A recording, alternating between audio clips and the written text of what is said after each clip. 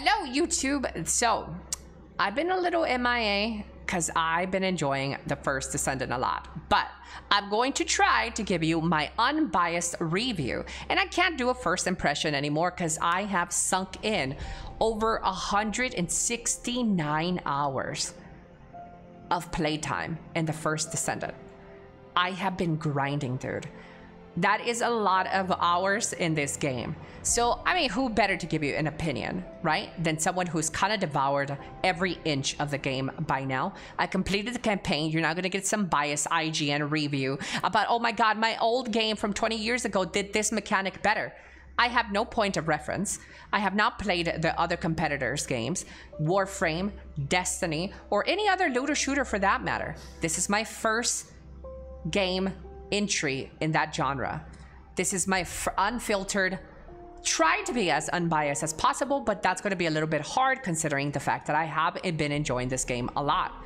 So I do understand that I am going to be biased, much like everybody else's. If you played Warframe at one point, you're going to be biased giving your opinion about this game. But here we go, chat. Right off the bat, skip all the bull. My number rating if you want to just uh, skip, don't forget to comment, like, and subscribe on the video. I'm going to give this game a solid 7.5 out of 10. I know that might seem like a little bit low, but I do think that the game still has a lot um, to go through. And like I try to tell my chat on the daily, I think live service games are brilliant and they would be good if they released at a 9 out of 10 or a 10 out of 10. But unfortunately, or fortunately, we, the community, and our player feedback is what make these games so great. Path of Exile 1 is an example of a game that released really, really terrible and they went on to develop one of the best ARPGs out there, probably the best ARPG out there. Warframe was not a stellar release either. Warframe released a bunch of issues with a bunch of issues, and they developed their game to be one of their favorite in the genre, looter shooter genre, uh, according to a lot of you guys. So I've been doing my research and other games here and there, but here is my um, opinion. I think graphics, the game does very well. Scenery, the moment you boot the game up, you are loaded into a gorgeous visual experience with their cinematics being amazing, um, their descendants looking really good, special effects, everything, the mountains at a distance. The game looks really, really, really good, um, especially this class right here. Looks really, really, really good. Uh, so visuals to me are at the top. The game does feel a little bit dead though. With these visuals come um, a, little bit of a drawback for me. I wish that the game had more stuff to do in the open world. You know, right here loading into the hub, you can see a lot of people and this is as much as the game will feel alive to you. I could be coming from a really biased perspective here, being an MMORPG enjoyer. The games are mostly always alive open world. Um, there's a lot of people, there's trading, there's this, there's that. The, the worlds feel alive. And in this game, this is the only hub that feels alive. When you exit this and go to out, outside, the game is met with a bunch of, um, yeah, well, it, it doesn't look that good, you know? It doesn't look that good once you start going outside. Sound design, great. Voice acting, voice lines. I had to change to Korean voice acting because the English voice acting I felt was a little dookie. But again, I don't think it's good enough or bad enough to kill game experience for me. Imagine you playing the game for the voice acting. I don't know. I feel like that is secondary or thirdary or on the list at the bottom of things you should care about in a video game, especially when the, the, the focus is on the, the gameplay, the combat, the gun. Um, and speaking of combat, the combat plays really, really, really well. Every gun feels very unique. I played a lot of guns already because they start throwing loot at you left, right, center. Try this gun, try this gun. Every gun feels very unique with its modules and stuff allocated into the gun itself, the game just there's a lot of variety. There's a lot of variety there for all types of um, gun enjoyers. Um, the characters, I have not played many characters, but the characters that I have tried to play feel all uniquely uh, distinct. They feel really good. They all feel really, really great. They all look really good. And I can't wait to continue playing more characters. Uh, monetization, I think um, obviously games would be better if they didn't have a lot of monetization on. But for a Nexon game and uh, viewing Nexon's reputation, this game is one of its least offenders. For a Nexon game, this game does really, really good at giving you a lot, eh, if not everything, in the game for free. You can acquire all the power ups, all the descendants, all the guns in the game by just simply playing the game. Is the game super grindy? The game can be considered grindy, but welcome to looter shooters. This is the genre. It's like booting up Mario and complaining that there's platforming in the Mario. That is the genre.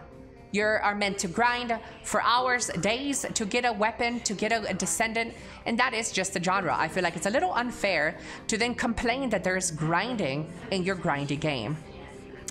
Um, aside from that, the visuals of the game, uh, the combat feels really good, monetization, I would love for there to be less monetization, but I'm also not against the monetization that they do have in the game. I don't think it's predatory. I don't think it's scummy. There's things that they could do better. Like there are some descendants that take like 30 something hours to craft. Could that be lowered to make the gaming experience a little bit better for the player? Absolutely. Take that 30 hours down to like one hour max and you have yourself a perfect game uh, or a perfect system there. Um, but again, I think the game does pretty good. The game is given to you out uh, for free.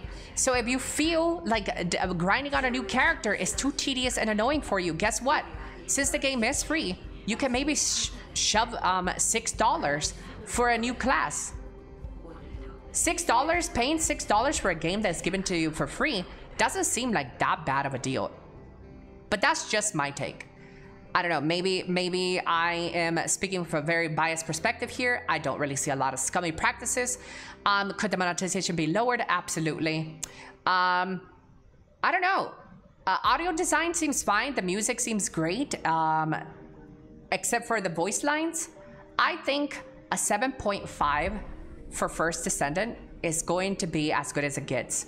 The next, the developer, with one thing that needs to be said about the developer a lot of people are hating on this game because of the developer. Let's be honest. Nexon has a really bad reputation. One of the most horrible reputations in the gaming industry with the way they handled Maple Story monetization and scamming uh, people from their um, percent drop rates, etc., etc. The stuff that they had done there and Nexon throughout the years carries a really bad reputation. But as a person who has been devouring T uh, TFD, this game, since launch, since beta, the developers have already been very transparent with how they're planning to carry this game out. Before this, the week was up, they already had a hotfix patch that even implemented a patch that would cost them money they implemented other ways where you can grind out materials so you don't spend, uh, so you're not forced or feel forced to give them money. That speaks volumes to me. Maybe it's just a little cookie they're giving me so they can sell me some other things in the future. That's up for the future, but for now, I think there is really good promise in the game and the developers, I don't know, they've sold me on it so far. Um, maybe this video doesn't age well and in a month I will be like saying, oh my god, this game is trash. I hate this game. Man, the developers are trashy, scummy. But for right now, I think that this game is a really good game. And with the player feedback and stuff moving forward, this could be a perfect game. 7.5 out of 10 for me. And if you like this video, comment, like, and subscribe. Leave your comment down below. What would you rate this video? What do you rate the first Descendant? Go, go, go, go, go. Tell me. Tell me. What do you think? I'd like to hear it. Okay. I'll see you guys later. Hey, you. Going somewhere? Well, before you go somewhere, how about you hit that follow button, comment, like, and subscribe? Do yourself a solid. Help a girl out.